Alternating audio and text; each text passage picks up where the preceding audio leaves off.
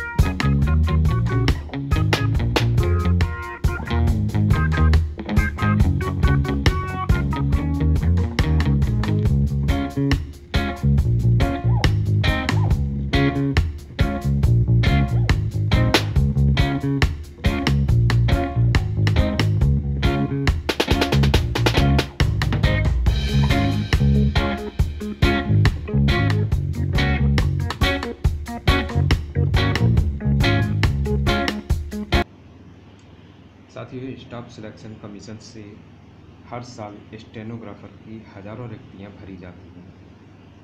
साथियों यदि आप स्टेनोग्राफी की तैयारी कर रहे हैं और स्टेनोग्राफर बनने का सपना देख रहे हैं। तो आपके लिए एक अच्छा चांस है, एक अच्छा मौका है एसएससी में स्टेनोग्राफर बनने का। साथियों, इसमें अप्लाई करने के लिए डेट आ चुकी है, एग्ज़ाम की भी डेट आ चुकी है। मैं आपको शॉर्ट में इन सब की जानकारी दे रहा हूँ। एसएससी स्टेनोग्राफर ग्रेड सी और ग्रेड डी का एग्ज़ाम ऑल इंडिया लेवल पर होता है।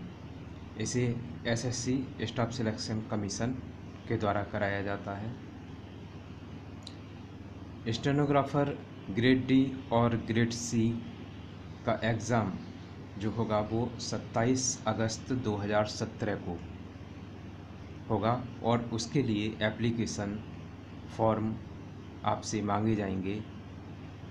उसकी भी डेट आ चुकी है, जो कि 17 जून 2017 से फॉर्म शुरू हो जाएँगे। आप अप्लाई कर सकते हैं 17 जून 2017 से।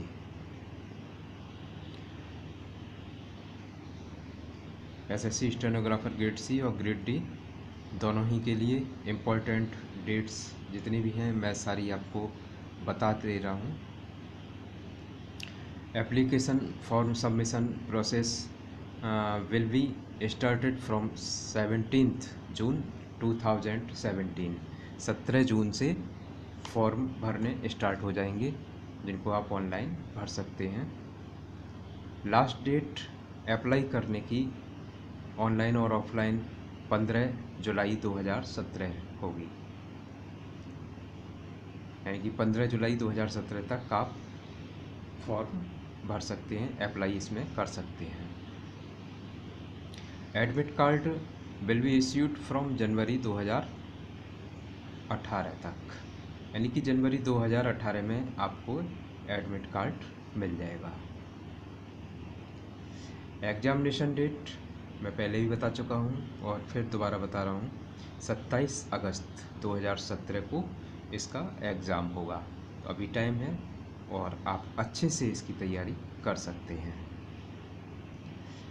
Result will be announced March 2018 इसका रिज़ल्ट अनाउंस कर दिया जाएगा। रिज़ल्ट आपका आ जाएगा इसमें मार्च 2018 में 2018 में, मार्च में।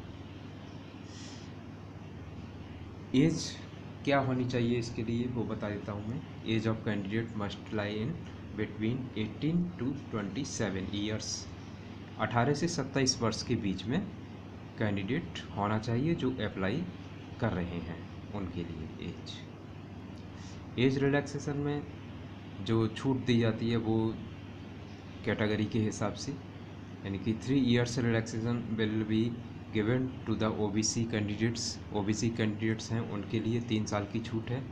और एससी एसटी जो कैंडिडेट हैं, उनके लिए फाइव इयर्स की छूट है, पाँच साल की एज में। Minimum educational qualification twelfth pass होना चाहिए, किसी भी यूनिवर्सिटी से twelfth pass from a recognised board या यूनिवर्सिटी से। Candidates who have pass twelfth standard और इक्विवेलेंट एग्जामिनेशन या उसके समकक्ष भी अगर होते हैं ट्वेल्थ के तब भी आप इस फॉर्म को अप्लाई कर सकते हैं। Before applying the examination, candidates need to make certain whether they fulfill the stenographer eligibility जो स्टेनोग्राफर के लिए ट्वेल्थ पास होना चाहिए और इसके अलावा स्टेनोग्राफी भी आनी चाहिए। यानी candidate should be hundred one hundred word per minute for the post of stenographer grade C grade C के लिए वन हंड्रेड सौ शब्द प्रति मिनट की गति से शॉर्ट हैंड आनी चाहिए और अस्सी शब्द प्रति मिनट की गति से शॉर्ट हैंड आनी चाहिए ग्रेड डी के लिए।